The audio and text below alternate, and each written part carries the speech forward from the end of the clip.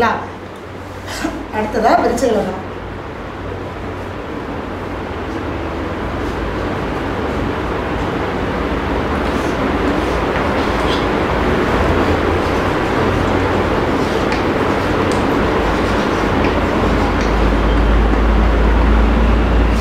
அடுத்ததா விருச்சிக லக்னம் இப்போ இந்த பிரிச்சு லக்னத்துக்கு யார் ஏழாம் அதிபதியாக வருவா? சுக்கரன் தான் ஏழாம் அதிபதி. அப்போ இந்த விருச்சிக லக்கணக்காரங்கள்லாம் பார்த்தீங்க அப்படின்னா என்னதான் அந்த ஏழாம் இடத்துக்கு வந்து நம்ம மனைவிக்கு வந்து அவ்வளோ செஞ்சாலுமே கூட அவங்களுக்கு அது திருப்தியை கொடுக்காது. சரிங்களா? ஏன்னா நம்ம ஆல்ரெடி என்ன பண்ணிட்டு வந்திருக்கோம்? ஒரு பெண்ணுடைய சாபத்தை வாங்கி வந்தோம். சரிங்களா? அதனால தான் நமக்கு ஏழாம் அதிபதி சுக்கரனாக வந்துடும் அப்போ சுக்கரன் வந்து எனி டைம் என்ன பண்ண நம்மளை கண்காணிச்சிட்டே இருக்கும். அது வந்து இந்த மேச லக்கணத்துக்கும் விருச்ச லக்கணத்துக்கும் ஒரு விண்டான விதி. அது ராசியாக இருந்தாலும் சரி லக்னமாக இருந்தாலும் சரி. அது லக்னத்துக்கு மெயின் அவங்க நம்மளை எப்பவுமே கேர் பண்ணிகிட்டே இருப்பாங்க. அதீத அக்கறையே நமக்கு என்ன ஆகும்? அவங்க என் மேலே சந்தேகப்படுறாங்க நான் என்ன பண்ணுறேன் ஏது பண்ணுறேன்னு கேட்குறாங்க நீங்கள் என்ன பண்ணுறீங்க ஏது பண்ணுறீங்கன்னு கேட்குறாங்கன்னா அவங்க உங்கள் மேலே உள்ள அக்கறையில் கேட்குறாங்க நீங்கள் ஒரு மணி நேரத்தில் நாலு ஃபோன் வருதுன்னா அந்த மாதிரி ஒரு ஒய்ஃபும் அந்த மாதிரி ஒரு கணவனும் கண்டிப்பாக வாழ்க்கையில் உங்களுக்கு ஒரு வரம். நீங்கள் அதே என்ன நினச்சிக்கிறீங்க? எப்போ பார்த்தாலும் இம்சையாக இருக்கு. ஃபோன் பண்ணிகிட்டே இருக்கா ஃபோன் பண்ணிகிட்டே இருக்காரு.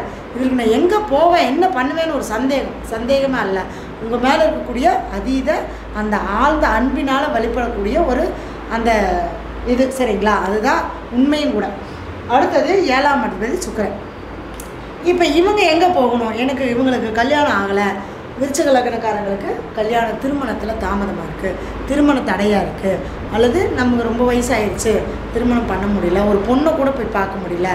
ஏழாம் இடம் தான் எனக்கு பாதிக்கப்பட்டிருக்குன்னு இருக்குது அப்படின்னு இருக்கிறவங்களுக்கு இந்த விருச்சக லக்கணத்தில் பார்த்தவங்களுக்கு தாம்பரத்தில் மனமுடித்த நல்லூர் ஊர் பேரே வந்து மனமுடித்த நல்லூர் அப்படின்னு என்னங்க? அந்த ஊருக்கு போனால் நமக்கு மனம் முடிஞ்சிருமா முடியாதா?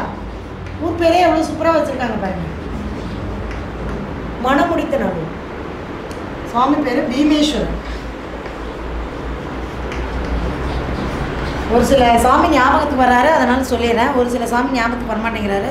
அதனால சொல்லலை அதை நீங்கள் கொஞ்சம் சர்ச் பண்ணி தேடி சரி ஏதாவது டவுட்னா கால் பண்ணுங்கள் இந்த நம்பருக்கு நான் சொல்கிறேன் சரிங்களா? அதெல்லாம் ஒன்றும் இல்லை. எதுவாக இருந்தாலும் நம்ம வழிகாட்டுவோம். ஓகேங்களா?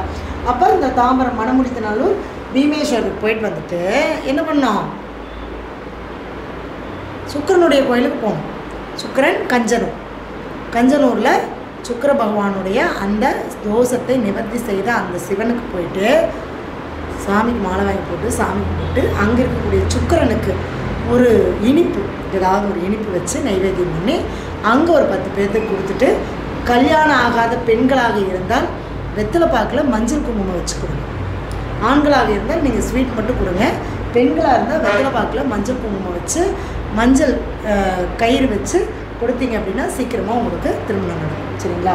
அப்போ இந்த ஏழாம் இடம் சொல்லக்கூடிய அந்த சுக்கரனுக்கு உண்டான ஸ்தலத்துக்கு போய் கண்டிப்பாக நீங்கள் என்ன செய்யணும்னா வழிபாடு பண்ணி தான் ஆகணும். நீங்கள் எந்த மாதம் வழிபாடு பண்ணணும்னா கார்த்திகை மாதம் அடுத்தது பங்குனி மாதம் அடுத்தது வைகாசி மாதம் அதுக்கு அடுத்தது ஆடி.